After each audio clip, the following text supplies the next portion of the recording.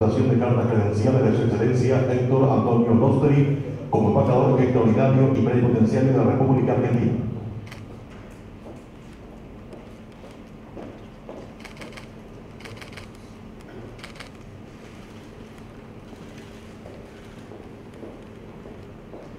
embajador.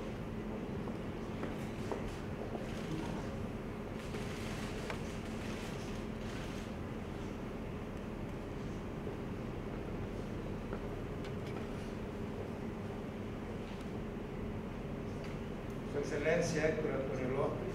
recibo de mano de Vuestra Excelencia la carta de retiro de su antecesor y la que lo acredita como embajador extraordinario y plenipotenciario de la República Argentina ante el gobierno de la República del Paraguay. Queda desde este momento reconocido en su alta investidura con todas las prerrogativas y privilegios que le otorga el cargo, pudiendo contar con la colaboración de mi gobierno para el desempeño de las altas funciones que le han sido confiadas